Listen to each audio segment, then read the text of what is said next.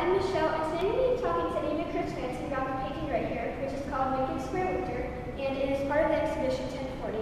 In Lincoln Square Winter, there is a city that you can see in the background of the painting.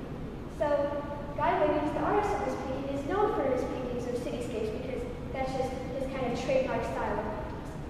But what is special about this painting in comparison to some of his other paintings about winter cityscapes? Well, interestingly, this artist Guy Wiggins is somebody who actually started countryside. He used to come up to Lyme, Connecticut and paint outdoors, and then he would go back to New York, where he would have a studio, and um, use his sketches and um, study paintings that he did to do bigger landscapes. Um, and he was doing that one day in the middle of winter, and he just couldn't focus on creating a summer picture. And he looked out the window, and there was a snowstorm going on, and he said, finally, I saw what was right in front of me. And so he started this view uh, out of his studio window. It shows um, Lincoln Square, which is about where Lincoln Center is in New York at 65th and Broadway.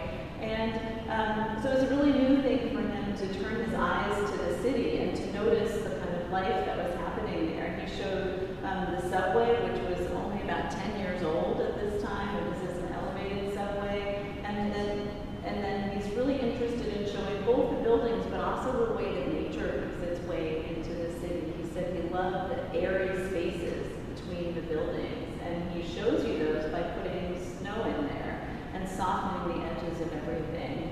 And he was so inspired by the way that you could show weather, even in a city where we think, you know, where is nature? That that's a subject that he continued to work on for the rest of his career.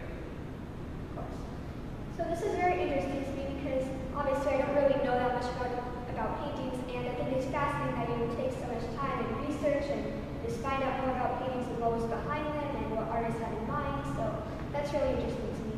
Great, I'm glad. And actually, it's a process that you know um, that I think I enjoy a lot as an art historian because you can always find new things that help you understand um, something that people didn't know about this work. We think this is probably the first picture that he painted of New York City, and that's a new discovery.